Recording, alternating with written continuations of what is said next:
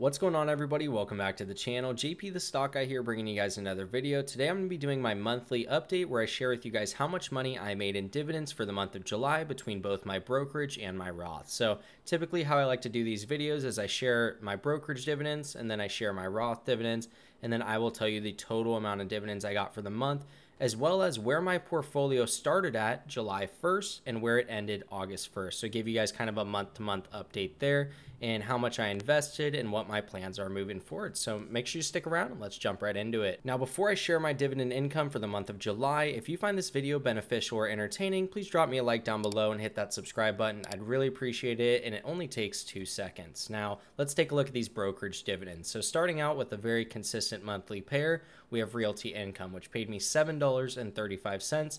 The next one, also a monthly dividend, is Stag Industrial, and they paid me $3.07.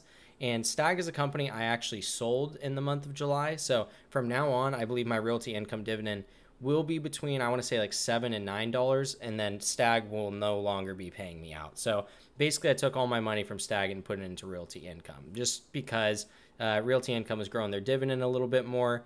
And overall, I just felt a little bit more confident with that business model compared to Stag. But nothing against Stag. It's not like I was super against it or I'm very bearish on it. It was just more of the dividend growth side of things. And then moving on to the third stock that paid me in my brokerage was JP Morgan and they paid me $14.80. Now, I must admit I did get paid this on August 1st, but JP Morgan's payout date is usually the 31st. So sometimes that rolls into the next month, but I always count it when it was supposed to be paid out, which is July 31st. So that 1480 is going in the July bucket. Now moving on to my Roth dividends, the first company that paid me was Best Buy and I received $2.93 from them. This was a company I started buying earlier this year and I actually still like the business model um, and I'm very bullish on Best Buy. Their financials are really good. Their valuation is actually insane. Go take a look at it. Super low PE. The price of sales is really low for Best Buy. And it's not like it's a flat company or it's not growing. But yeah, $2.93 it is a company I should probably be buying more of. I'm, I'm fairly confident in them. Um, but yeah, overall, that's what I got from them. I also received a dividend payment from VOO, which is the S&P 500 ETF held under Vanguard, and I received $3.62 from them.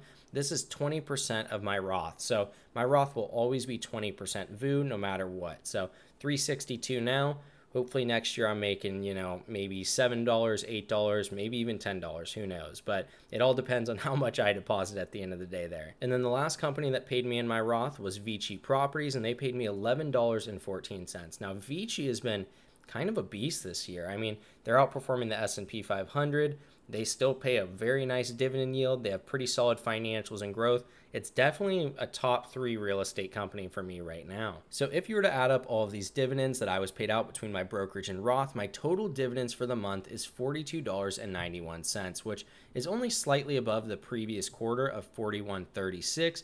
But I'm actually surprised about that. I thought it would be maybe less than that 41.36 that I got in April because I've sold QYLD.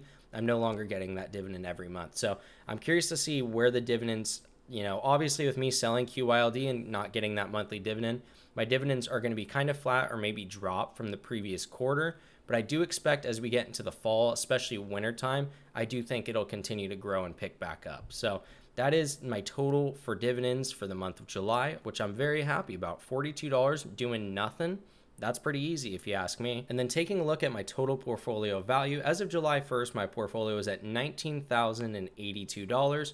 And as of August 1st, I was at $20,548. So how much money did I deposit? What would you guess? I deposited $0, believe it or not. So that $1,500 difference from July 1st to August 1st was just pure capital gains. And that's a 7.6% return which is insane. And obviously, that's month over month return. I'm not saying that's my year to date return, but if you compare that July 1st to the August 1st, it's gone up by 7.6%. And I didn't put a single dollar in. So that's from the capital gains there. And don't get me wrong, part of me does regret not putting any money into the market. And it's not necessarily because it just went up and there was a lot of gains for the month of July, but it was more that I have always said, at least on this channel since the beginning of the year, that I plan on putting money into the market every single month and being very consistent. And well, if you skip a month, that's not as consistent, obviously. So that is kind of the main reason I regret that. But at the same time, I always prioritize having zero debt over investing. Like if I have $300 on a credit card, I'm going to pay off that $300 compared to putting $300 in my, you know, investment account. So that's just kind of the way I roll. Once I have zero debt, which as of right now I do, then I can focus back in on investing and starting to build that up. As well as I've mentioned in a lot of videos, I'm actually saving up a lot of money to try and buy a house right now. So that's another priority is I'm saving money to buy a house. I want to make sure I have zero debt because that's a factor when you go to get the loan for the house, etc. You get the point. But anyways, that is my update for the month of July. I received almost $43 in dividends. I had $1,500 in capital gains. So July was a really good month. I'm always very long term bullish on the stock market. I really don't care what happens from this point on. If it goes up, great. If not, I'm going to be buying regardless. So um, I'm very confident in my holdings. But yeah, that's pretty much it for me. How much money did you make in dividends for the month of July? Or how did you do in the stock market as a whole? Did you see a nice growth? Did you go down? I'd love to hear what happened with you guys. Please comment that down below. I'd love to read and see what you guys have to say. That's it for me. I hope you guys enjoyed this video. If you did, remember to drop a like down below hit that subscribe button, and I'll catch you guys in the next video. Peace.